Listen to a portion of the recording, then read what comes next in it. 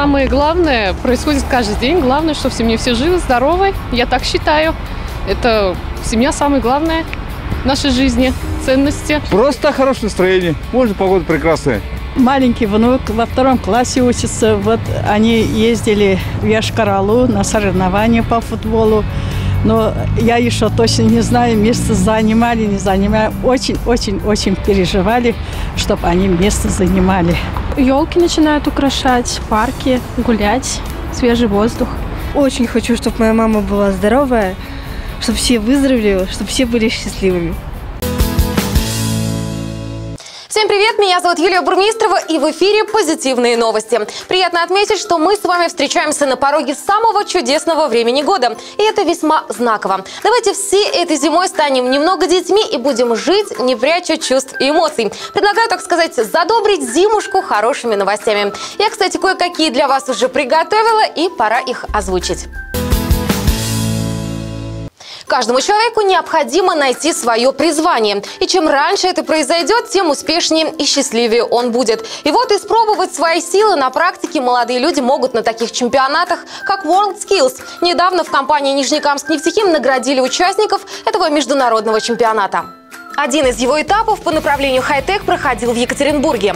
Помимо представителей нашего предприятия, там участвовали специалисты из 76 стран мира. 422 участника выступали в 34 компетенциях. Нефтехимики продемонстрировали свои способности по направлениям сварочные технологии и лаборант химического анализа. Молодые специалисты готовились к конкурсу основательно. Конечно, не без помощи опытных коллег. Подготовка э, началась у нас где-то с августа месяца. Э, значит, мы подбирали методики методики, отрабатывали, э, отрабатывали эти методики, э, практическую часть и расчетную часть. Потрачено очень много времени на это. Ну и, соответственно, я думаю, что мы получили достойный результат. А результат действительно достойный. Наш сварщик Александр Уликашкин завоевал 11 место среди 36 претендентов. А лаборант Айзира Фархидинова стала восьмой из 32 участвующих в этой компетенции. И только они знают, как это тяжело и ответственно представлять компанию на соревнованиях такого уровня. Самое сложное было это новое оборудование, которых у нас нету. Мне пришлось там же учиться, потом на следующий день на них же работать. Но не зря говорят, что дело мастера боится. Так и нефтехимики великолепно справились со своими задачами. Кстати, знаете ли вы, что мировой чемпионат рабочих профессий состоится в августе следующего года в Казани? Я думаю, Нижнекамск нефтехим имеет все шансы на победу. Возможно, не только по специальностям лаборант и сварщик, но и по другим рабочим профессиям. Слышали ли вы когда-нибудь об особой породе татарских овец? Я вот совершенно недавно узнала, что этот особый вид выводит у нас в Нижнекамском районе в деревне Кармалы под чутким руководством фермера Хабибулы Араева.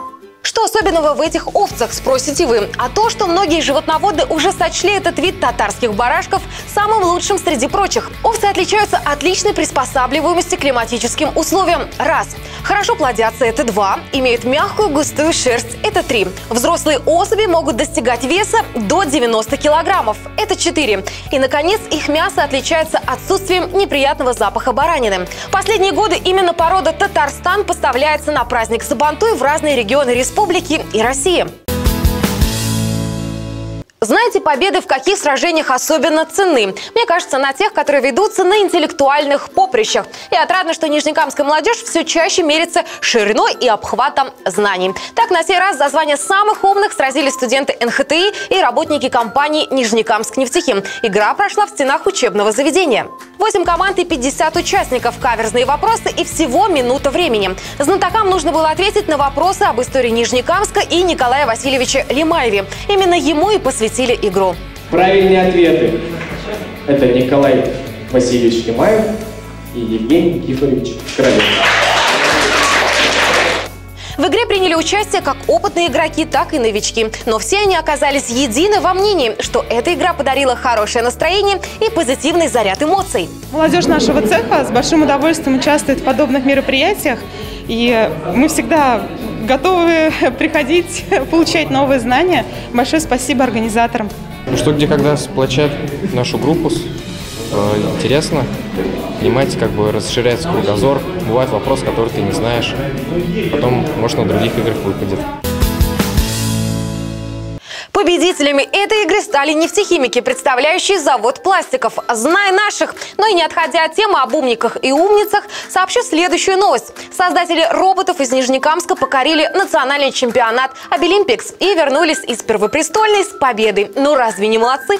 Четвертый национальный чемпионат Абилимпикс прошел в Москве. Команду нашего города представляли на нем воспитанники технопарка «Кванториум» и студенты техникумов. Отмечу, что это были особые соревнования, которые собирают мужественных людей.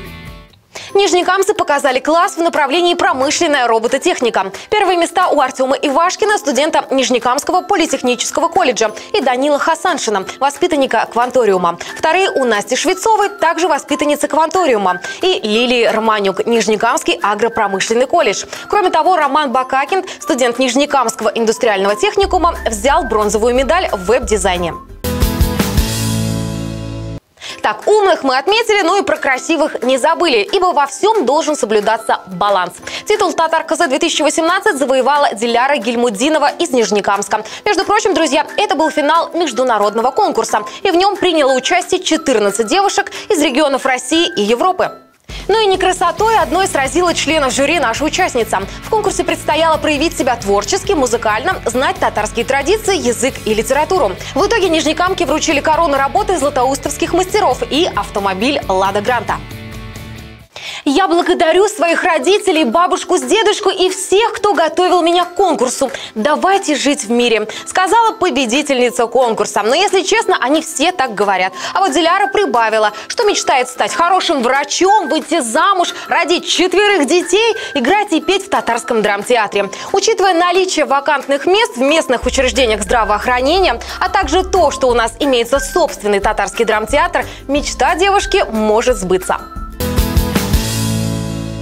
Привычка – тиран людей. И об одной из них – курение – мы прямо сейчас и поговорим. Статисты подсчитали, что каждая тонна окурков делает брешь в национальной безопасности страны. Представляете? Вы думаете, что просто курите, а на самом деле наносите вред, притом стратегический. Запугивать я вас больше не буду. О вреде никотина мы знаем с детства. Но где и как в нашем городе ведется борьба с этой зависимостью, думаю, полезно узнать.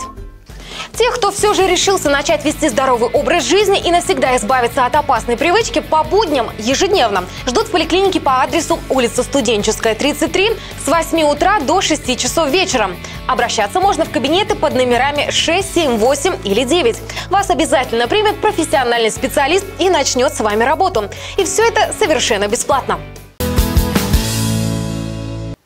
А следующая новость явно порадует любителей фантастики.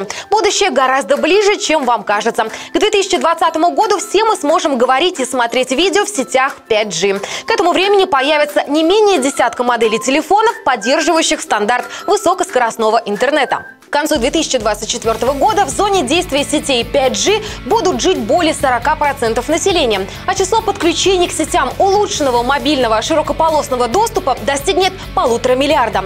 Драйвером роста потребления как раз станет развитие 5G. После того, как девайсы получат развитие, способные передавать голограммы, на сетях 5G будут развиваться и такие сервисы. Например, можно будет передавать не видеообращение, а послание голограмму, как в культовом фильме «Звездные войны». Круто! Всегда думала, доживу ли я до этого момента. И напоследок еще одна хорошая новость. Экзамен на водительские права могут упростить. Межрегиональная ассоциация автошкол обратилась в ГИБДД с инициативой заменить 6 упражнений практического экзамена на площадке на 3. Повторяю, на 3. Сейчас при прохождении испытаний на автодроме необходимо сдать 6 упражнений. Змейку, разворот, повороты на 90 градусов, эстакаду, параллельную парковку с задним ходом и заезд в гараж. Автошколы же предлагают сдавать только три упражнения по выбору экзаменатора. То есть экзаменуемый не будет знать, какие именно маневры его попросят выполнить и по-прежнему должен будет учить все. Также ассоциация предлагает выделять на поездку по городу в рамках экзамена не менее 20 минут. В ГИБДД сказали, что готовы рассмотреть эти идеи. На этой радостной ноте я прощаюсь с вами. Друзья, желаю вам встретить эту зиму, которая, кстати, наступит уже в эти выходные в хорошем настроении. Балуйте себя и делайте то, что вашей душе угодно. Ведь она как птица, нельзя лишать ее возможности летать. С вами была Юлия Бурмистрова. Целую. Пока-пока.